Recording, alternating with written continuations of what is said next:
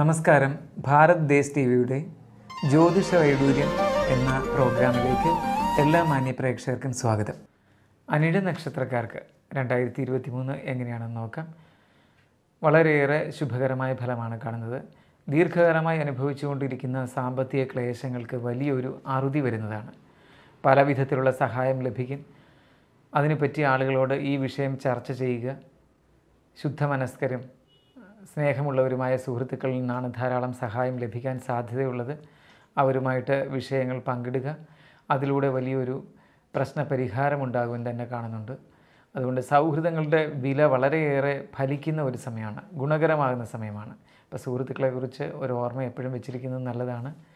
വിവാഹകാര്യം സഫലമാകും. പൊതുവേ കുടുംബജീവിതം സുഖകരമാകുന്നതാണ്. പലവിധ മാർഗങ്ങളിലൂടെ ധനം വന്നു ചേരും. മധ്യവർത്തിയായി പ്രവർത്തിക്കാൻ പറ്റിയ കാര്യങ്ങളിലെല്ലാം പ്രവർത്തിക്കുന്നത് നന്നായിരിക്കും. അങ്ങനെ മധ്യവർത്തിത്വത്തിലൂടെ ധാരാളം ധനം വന്നെത്തിപ്പെടാൻ സാധ്യതയുള്ളതായിട്ട് കാണുന്നുണ്ട്. ദാനം ചെയ്യാനുള്ള പ്രവണത. ദാനം ചെയ്യാനുള്ള പ്രവണത വളരെയേറെ വർദ്ധിക്കുന്ന സമയമാണ്. കയ്യിലേക്ക് കാശും വരും ഇതുവരെയുള്ള സാമ്പത്തിക ക്ലേശം മാറും. അപ്പോൾ ദാനം ചെയ്യാനുള്ള പ്രവണത നല്ലത് തന്നെ. പക്ഷേ അനുചിതമായ രീതിയിൽ ദാനം ചെയ്യാൻ ഒരു ഉൾപ്രേരണ ഉണ്ടാകും അത് സൂക്ഷിക്കണം. അർഹതയില്ലാത്തവർക്ക് ദാനം ചെയ്യുക.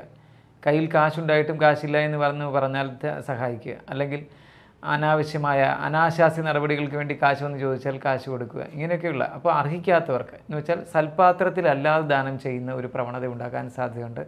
അത് നിമിത്തം വലിയ സാമ്പത്തിക നഷ്ടം ഉണ്ടാകാനിടയുണ്ട്. അത് വരാതിരിക്കാൻ വളരെ ശ്രദ്ധിക്കണം. അനിഴക്കാരുടെ മെഡിക്കൽ അസ്ട്രോളജി നോക്കുകയാണ്. അർശോ രോഗങ്ങൾ വർദ്ധിക്കാൻ സാധ്യതയുണ്ട്. ഒരുപാട് സ്പൈസി ഫുഡൊന്നും വറുത്ത് പൊരിച്ച മസാല ചേരുന്ന ഭക്ഷണമൊന്നും കഴിക്കാതിരിക്കാൻ ശ്രദ്ധിക്കുക. പഴകിയതും തണുത്തതുമായ ഭക്ഷണം ഒഴിവാക്കുക.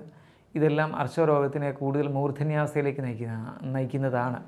ആയതിനാൽ അത്തരം ഭക്ഷണം എല്ലാം ഒഴിവാക്കുക. വളരെ ശ്രദ്ധിക്കണം. ഈ കാലയളവിൽ വളരെയേറെ അലട്ടിക്കൊണ്ട് നിൽക്കുന്ന ഒരു വിഷയമായിരിക്കും. ദീർഘയാത്രയിലൊക്കെ വലിയ ക്ലേശം ഉണ്ടാക്കാനിടയുണ്ട്. പൊതുവെ ഈ കാലയളവിൽ സൽകീർത്തി വർദ്ധിക്കും. എല്ലാവരുടെയും ഇടയിൽ ഒരു സമാരാധ്യത ഉണ്ടാകും അതുപോലെ ശത്രുക്കളുടെയും അസൂയാലുക്കളുടെയും എണ്ണവും പെരുകും. അത് വളരെ ശ്രദ്ധിക്കണം. കുടുംബ വിഷയങ്ങളിൽ മറ്റുള്ളവരുടെ അമിതമായ അനാവശ്യമായ ഇടപെടലുകൾ ഉണ്ടാകും. വളരെ സൂക്ഷിക്കേണ്ടിയിരിക്കുന്നു. വീട്ടിലേക്ക് വന്നു പോകുന്നവരെയൊക്കെ വളരെ ശ്രദ്ധിക്കുക. വലിയ ഊഷ്മളമായ സ്വീകരണമൊന്നും വീട്ടിൽ കൊടുക്കേണ്ടതില്ല. അതൊക്കെ വളരെ ശ്രദ്ധിക്കണം. അവർ നിങ്ങളുടെ എല്ലാ കാര്യങ്ങളും രഹസ്യങ്ങളും ഒക്കെ കൂടുതൽ അറിഞ്ഞുകൊണ്ട് ജീവിത ഗതികളെല്ലാം അറിഞ്ഞുകൊണ്ട് പല വിധത്തിലുള്ള കിംവദന്തികളുമൊക്കെ ഉം, പറഞ്ഞു നടക്കാനായിരിക്കും സാധ്യത. അത് വളരെ ശ്രദ്ധിക്കുക. അമിതമായ ഇടപെടലുകൾ കുടുംബജീവിതത്തിൽ ഉണ്ടാകാതിരിക്കാൻ ശ്രദ്ധിക്കുക. വീടുകളിൽ അതിനൊരു തണുത്ത സമീപനം തന്നെയായിരിക്കും നല്ലത്. മറ്റു വീടുകളിലേക്ക് അമിതമായി പോകാനോ അനാവശ്യമായി പോകാനോ ഒന്നും ഇടയാകാൻ ശ്രദ്ധിക്കുക. ഈ സമയത്ത് ഒരുപാട് ഗുണങ്ങൾ പറയുന്നെങ്കിലും ഒരുപാട് കാര്യങ്ങളിൽ നമ്മൾക്ക് അനുവാദം കൊടുക്കാതിരിക്കാൻ ശ്രമിക്കേണ്ടത്. അനിട നക്ഷത്രക്കാർ ഒരുപാട് ഈസിയായി പെരുമാറുന്ന ഒരു കാലയളവായിരിക്കും. അതുകൊണ്ട് തന്നെ കൂടുതൽ അവസരങ്ങൾ ചൂഷണം ചെയ്തുകൊണ്ട് പലരും ഓടിക്കൂടും. അത് വളരെ ശ്രദ്ധിക്കണം. നമ്മൾ പറയുന്ന കാര്യങ്ങളെല്ലാം വളരെ സൂക്ഷിച്ചു വേണം. സംസാരിക്കുന്നത് സൂക്ഷിച്ചു വേണം.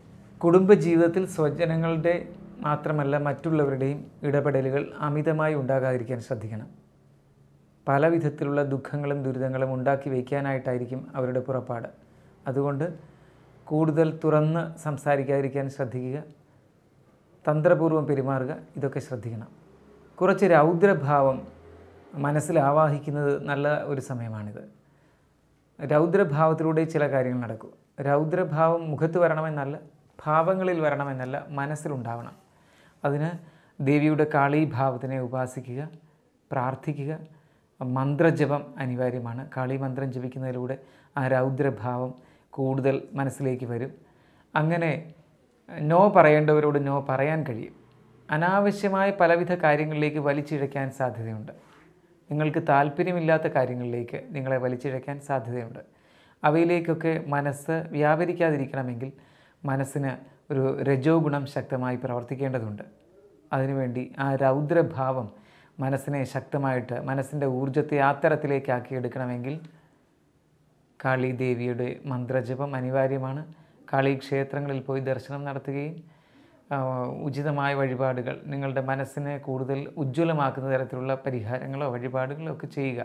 അതാണ് വേണ്ടത്. ജപം വർദ്ധിപ്പിക്കുക ഈ കാലയളവിൽ ഏറ്റവും അനിവാര്യമാണ്. കുറഞ്ഞ പക്ഷം ലളിതാ സഹസ്രനാമമെങ്കിലും എല്ലാ ദിവസവും രണ്ടു നേരം ജപിക്കാൻ നോക്കുക. ലളിതാ സഹസ്രനാമം ജപിക്കുമ്പോൾ ഒരു കാര്യം പ്രത്യേകം ശ്രദ്ധിക്കണം. മനസ്സിൽ മറ്റുള്ളവരോട് വൈരാഗ്യമോ ദേഷ്യമോ അസൂയൊന്നും വരാൻ പാടില്ല. ദേഷ്യമോ അസൂയ അസൂയ വർദ്ധിച്ചാൽ ലളിതാ സഹസ്രനാമ ജപം തികച്ചും തിക്തഫലം ചെയ്യും.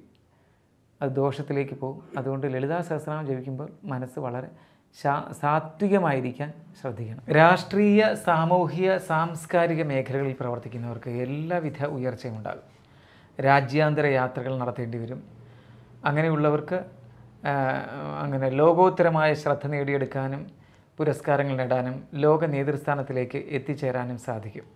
അനിഴം നക്ഷത്രത്തിലുള്ള രാഷ്ട്രീയ പ്രവർത്തകർ സാംസ്കാരിക പ്രവർത്തകർ എന്നിവർ വളരെ ശ്രദ്ധയോടുകൂടി ഈ കാലയളവിൽ നീങ്ങിയാൽ ഒരുപാട് ഗുണകരമായ കാര്യങ്ങൾ ഈ ആജീവനാന്തം ഓർക്കത്തക്ക വിധത്തിലുള്ള കാര്യങ്ങൾ നടപ്പിലാക്കാൻ പറ്റുന്ന ഒരു സമയമാണ് ഇത്. ശൈത്യരാജ്യങ്ങളിൽ നിലകൊള്ളുന്നവർക്ക് ഉന്നതാധികാരങ്ങൾ കിട്ടും.